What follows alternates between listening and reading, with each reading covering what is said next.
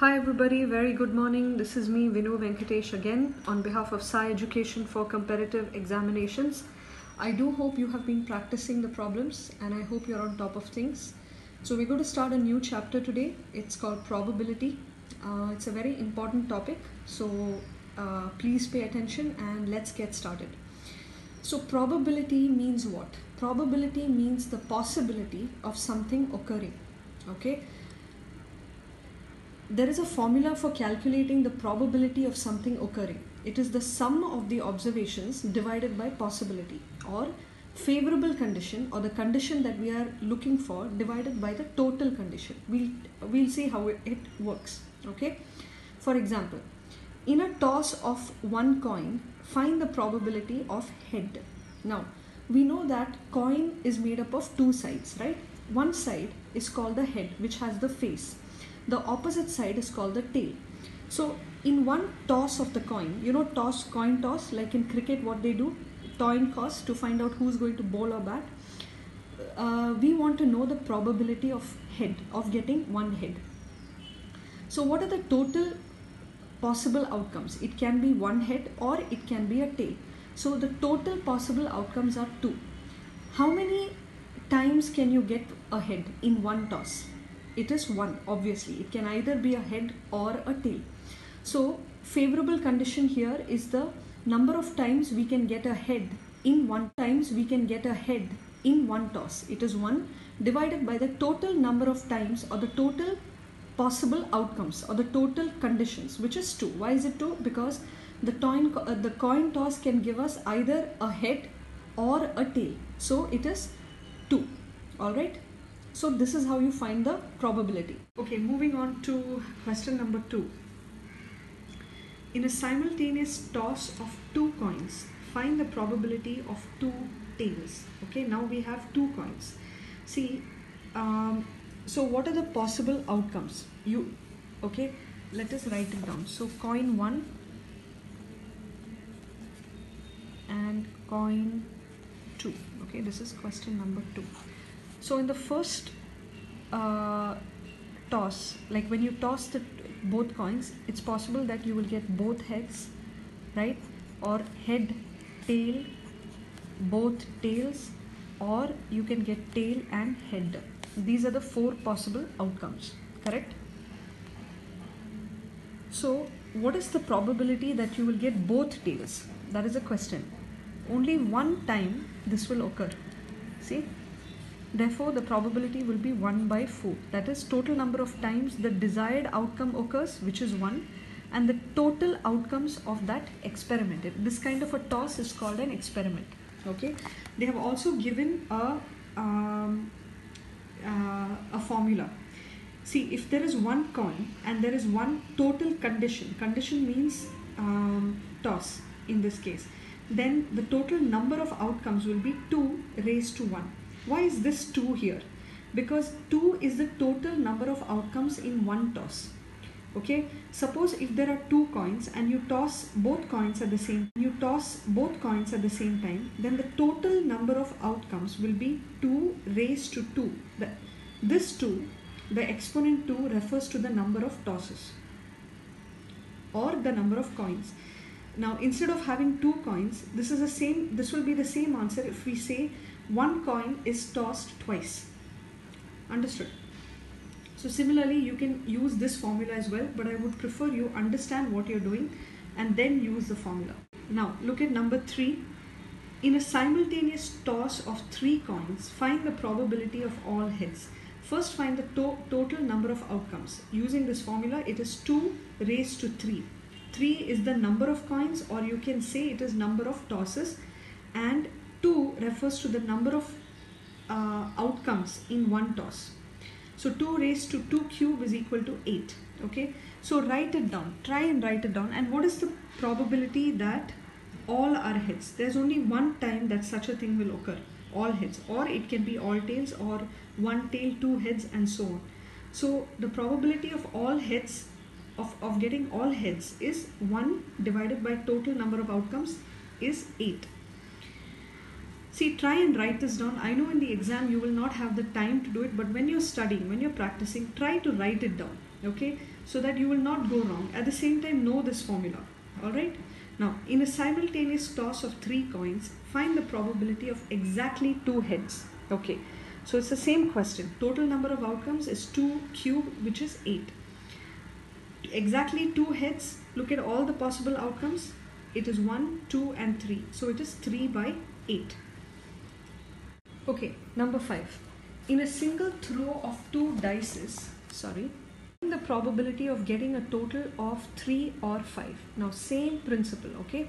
Now let us work it out. Now one die or one dice has six faces right? Dice is what we play with. It has six faces. Suppose if i throw i may get number 5 sometimes you may get 6 so it has uh, on each face of the die there are numbers. 1 2 3 4 5 6 so it has six faces one die has six faces which means six possibilities or six outcomes. Okay?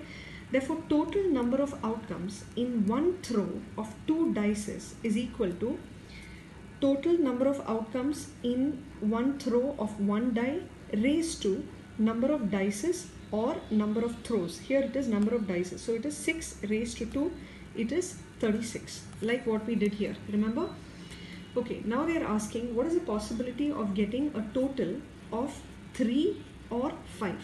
Now let this be in the first throw.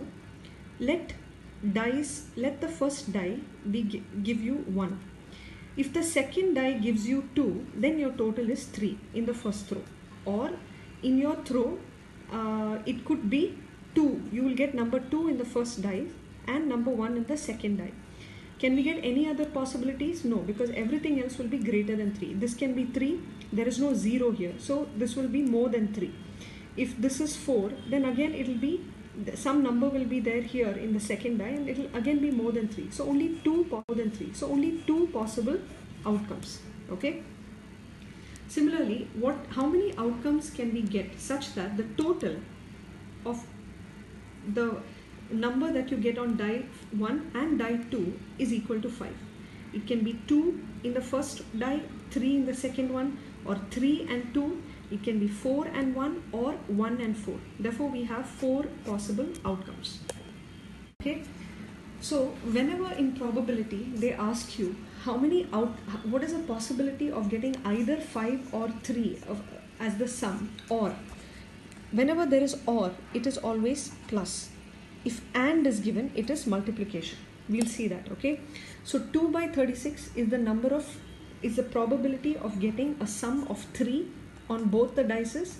4 by 36 is the sorry 2 by 36 plus 4 by 36 which is the total number of which is the probability of getting a sum of 5 on the two dices which is equal to 6 by 36 or if you simplify it is 1 by 6 okay now, remember or whenever you are getting questions involving or, you have to use plus. When you get questions relating to and, you have to use multiplication. Okay, you will we will see that. Okay, so number six is very similar to five. I would I want you to do it on your own. I have told you how to do it. It's similar, so please try it out. Number seven one card is drawn at random from the well shuffled pack of 52 cards. You know, cards, the playing cards, you play rummy, bank, and all that. What is the probability of picking a black card? Okay, we have to understand cards now. Like coins, we have to talk about cards. In a pack of cards, you will always have 52 cards, okay, half of which are red, that is 26, and the remaining 26 are black. What do we mean by red? Red means all the cards with hearts and diamonds right? They total 26 of which 13 are hearts 13 are diamonds. Similarly there are 26 black of which 13 are spades and 13 are clover we know that. We have all played cards right? So the total is 52 now the, here they're asking for the probability of picking a black card. So what are the total number of outcomes? It is 52 suppose if i pick up a card how many how many cards are there? Like how many outcomes are there? How many total possibilities? 52 among 52 how many blacks are there? 26 so the probability of picking a black card is nothing but total number of black cards divided by total number of cards which means of the 52 cards there are 26 cards. So i have 26 by 52 percent probability or 1 by 2 which is equal to 50 percent probability let's pick uh, the eighth one. What is the probability of picking a ace of spades or jack of diamond? Okay now let us do this together. Ace of spades or jack of diamond? Ace of spades. So there is only one so now remember it is or. So ace of spades is equal to 1 by 52 jack of diamond is also 1 by 52 therefore ace or jack is equal to 1 by 52 plus 1 by 52 which is 2 by 52 or 1 by uh, 16 sorry 1 by 26 understood? Is that correct? It is correct. Yay! Okay now ace of spades. Now we know the total number of outcomes is 52 how many ace of spades are there obviously there is one. In each of these classes you have ace you have one king one ace one king one jack one queen. Then you have numbers from 1 to uh, 1 to 12 right? 1 to 10 or something or 1 to 9 i don't remember exactly. So each of these has only each of these classes has only one of ace one of jack of diamonds. So therefore ace of spades. Let me call this ace of spades. As or and jd is just 1 by 52. Similarly, Jack in the diamond class is also just only 1. So it is 1 by 52. So what is the probability of finding ace of spade or jack of diamond? It is 1 by 52 plus 1 by 52 which is 2 by 52 or 1 by 26 after you simplify. Okay. You will get the idea. The more you practice, you will understand how to approach a question. Alright, but keep practicing and understand what you're doing. Alright, so that brings us to the end of lecture for today. We'll continue next class. Uh, we have a few more questions to do. So please uh, practice because if you don't practice, you're not going to understand anything. Um, please, uh, uh you know, message me your questions or uh, put them in the comments. Um, the more you practice, the better you get. And particularly with probability, it, you always have to practice. So uh, please do that and uh, see you next time. Take care and all the best.